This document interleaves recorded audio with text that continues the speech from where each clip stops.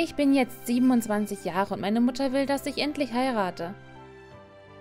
Naja, und da habe ich ihr gesagt, ich hätte einen Freund, damit sie erst einmal Ruhe gibt. Lass mich raten. Sie will, dass du deinen Freund mit nach Hause bringst. Du Hellseher. Sie drohte mir, mich auf Blind Dates zu schicken, wenn ich nicht wirklich jemanden anschleppe. Also habe ich im Grunde keine Wahl. Shinomiya soll auf Blind Dates? Ich respektiere sie wirklich sehr. Manchmal hat sie ihre Tage, doch sie ist oft eine sehr hilfsbereite und freundliche Mitarbeiterin, die mir schon vieles beigebracht hat, seitdem ich hier arbeite. Eigentlich ist sie ganz hübsch und ehrlich gesagt bin ich etwas in sie verknallt.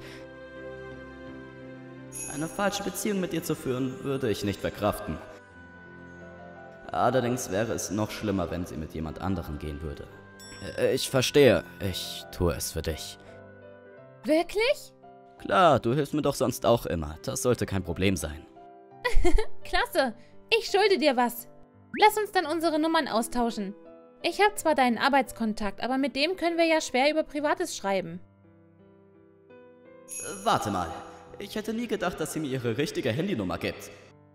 Dafür lohnt es sich. Wow. Ach, da wäre noch etwas. Wir sollten uns bei Vornamen ansprechen. Nenn mich bitte ab sofort Mina. Ja, aber ist das so unförmlich? Das ist doch der Sinn daran. Ich kann doch nicht meine Arbeitskollegin so ansprechen. Sieh uns als ein Paar vor allen anderen.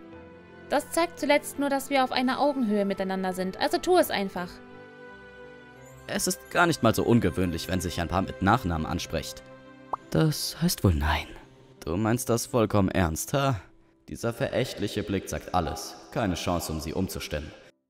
Es ist nicht, dass ich keine Erfahrung habe, also weiß ich grob, was ich tue. Versuch einfach natürlich zu klingen. Schon gut, ich werde es aber nur vor deiner Mutter tun.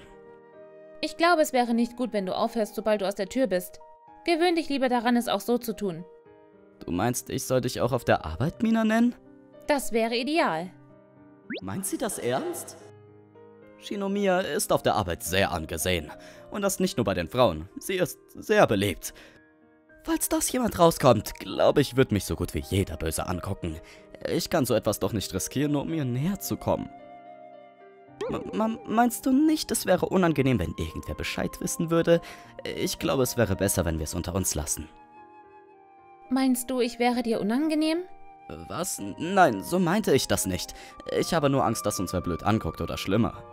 Ich glaube, es wäre glaubwürdiger, wenn wir auch vor unseren Kollegen so tun, als wären wir zusammen.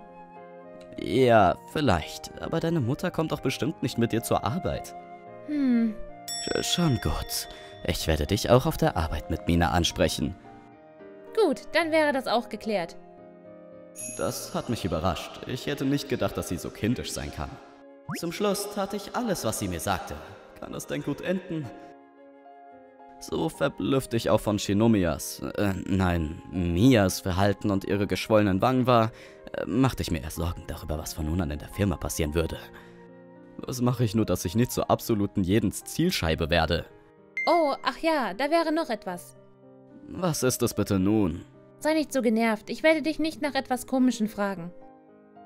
Das tat sie bereits, also ist ihre Aussage gerade etwas geflunkert. Was ihr wohl als nächstes einfällt. Ähm, lass uns dieses Wochenende miteinander ausgehen. Bitte was?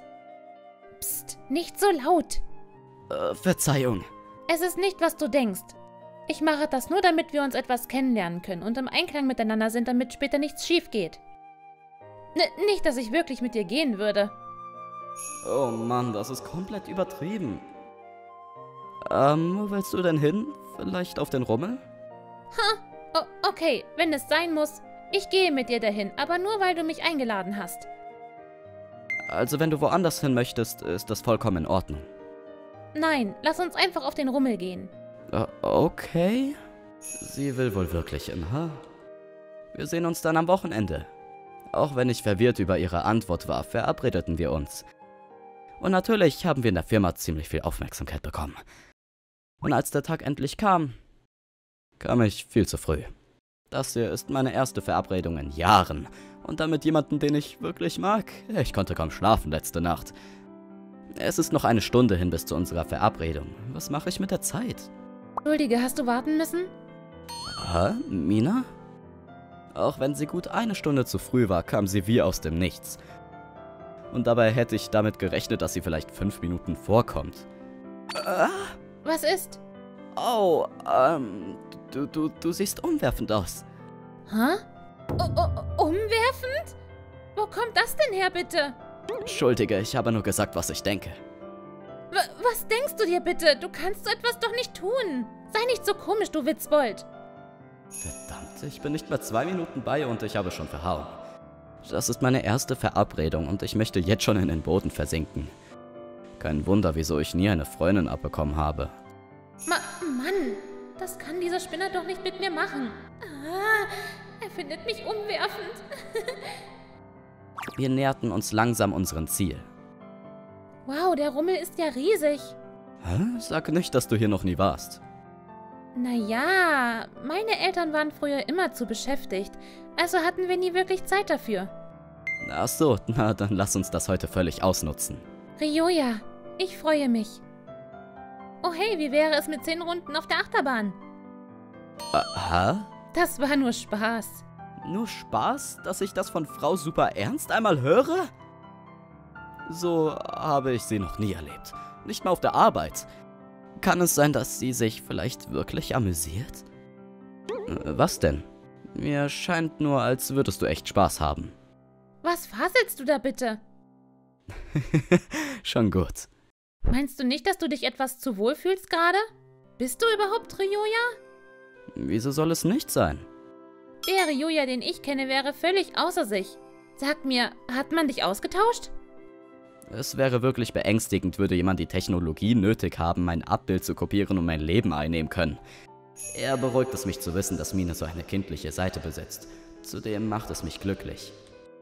Äh, Themenwechsel. Magst du noch mit der Achterbahn fahren? Oh, nee, das war doch vorhin nur Spaß. Wir können was anderes fahren. Ha, hast du etwa Angst? Äh, was?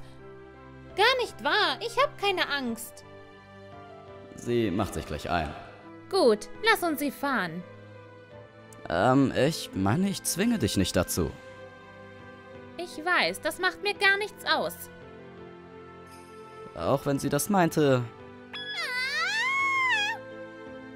war sie die, die am lautesten geschrien hat, sobald es hinabging. Selbst lauter als die kleinen Kinder. Uh. Hey, geht es dir gut? Nein, geht es mir nicht. Das Ding stammt doch aus der Hölle. Du hattest wohl doch recht Angst, was? Selbst wenn das hier zum Schluss nur vorgetäuscht ist, musst du dich nicht verstellen. Tu ich nicht, und es wäre besser, wenn wir einfach so offen sein, wie wir immer sind. Hä? Nanu, wo kommt denn das auf einmal her? Ich dachte nur, ich sage es dir einfach, damit du dich nicht damit ablagst, jemand zu sein, der du nicht bist. Du sagst das so, als würde ich mich immer verstellen. So meinte ich das nicht. Es ist nur, ich weiß, dass du dir in deinem Kopf gesetzt hast, dass ich deine ältere Kollegin bin und dass du mich respektierst. Doch kannst du mich ruhig wie jeden anderen behandeln. Ah. Dann lass uns mit dem Riesenrad fahren. Gut, dann ging es auf den Riesenrad. Äh, kann ich das so verstehen, dass sie ehrlicher mit ihren Gefühlen ist? Doch als wir auf dem Riesenrad waren... Ah, warte, du sitzt ja neben mir. Aus irgendeinem Grund saß sie nicht mir gegenüber, sondern direkt neben mir. Das tun Paare doch, oder etwa nicht? Meinst du nicht, dass wir uns etwas zu nah sind? Unsere Schultern berührten sich. Ich finde es absolut in Ordnung. Du meintest doch, dass ich ehrlich sein soll. Ehrlicher mit mir? Heißt das, dass du mir nah sein willst? Sag das doch nicht so laut, Blödmann. Entschuldige. Hä? Das heißt doch, dass sie mich mag, oder? Was um Himmels Willen geht in ihrem Kopf vor? Auch wenn ich nachfragen wollte, hatte ich zu sehr Angst, dass sie wieder böse mit mir wird. Mein Kopf lief rund und mit so vielen Gedanken und Emotionen. Was mache ich nur? Und dann Weißt du, ich habe meine Mutter wirklich angelogen, dass ich einen Freund habe und sie meinte auch, ich soll ihn mit nach Hause bringen, aber... Um ehrlich zu sein, würde ich jemanden fragen, mit mir zusammen zu sein, wärst du. Meinst du?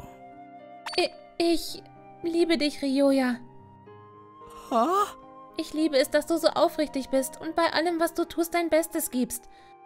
Auch wenn du manchmal etwas sorglos bist, warst du bis jetzt immer für mich da. Deshalb habe ich mich in dich verliebt. Mina, ich, ich fühle mich ähnlich.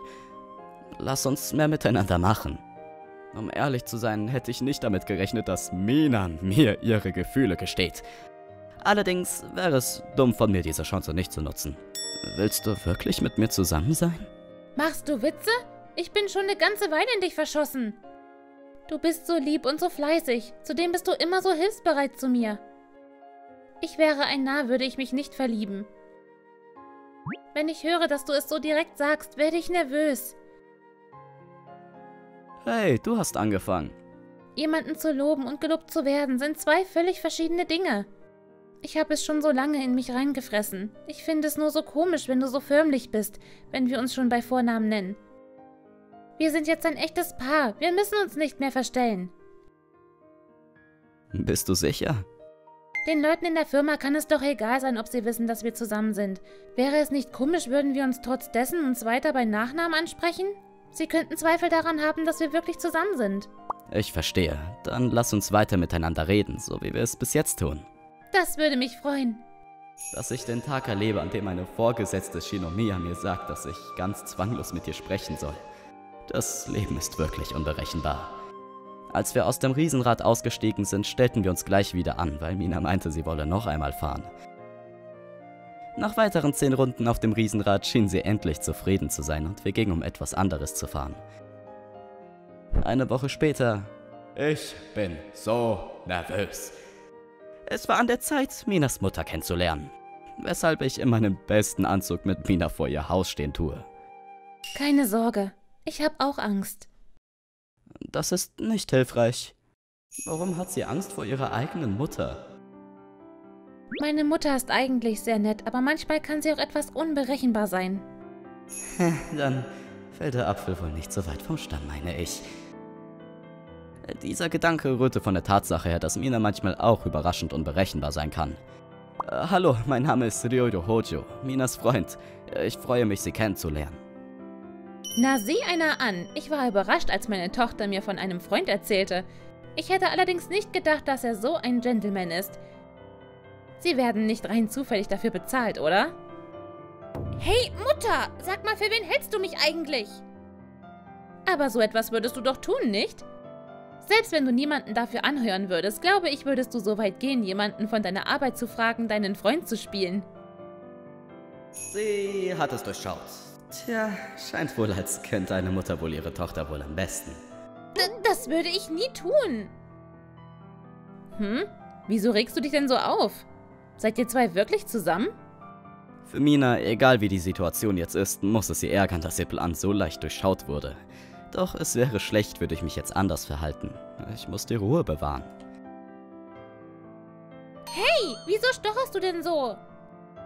Mine, deine offensichtliche Aufregung ist an sich schon ziemlich verdächtig. Wir sind immerhin jetzt wirklich zusammen. Sie muss sich nicht so bitterlich verteidigen. Warum ist sie so angespannt?